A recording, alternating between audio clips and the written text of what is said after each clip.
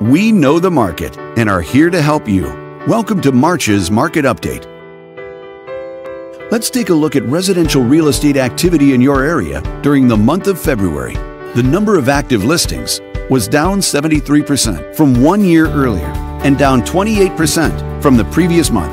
This smaller inventory means that buyers who waited to buy may have had a smaller selection to choose from. As you can see, the median listing price for the month was this much. Compared to last year, the average number of days units spent on the market before being sold did not change. The higher number of days may signal a slowdown in the local inventory turnover rate. The median sale price was over $4 million. The number of units sold was consistent year over year and held steady month over month. These latest figures are encouraging news for both buyers and sellers, indicating a positive trend in the marketplace. Thanks for watching. We hope you found this video helpful as you gather more information to make smart, informed real estate decisions. If you'd like more information or assistance, please click the button on the screen.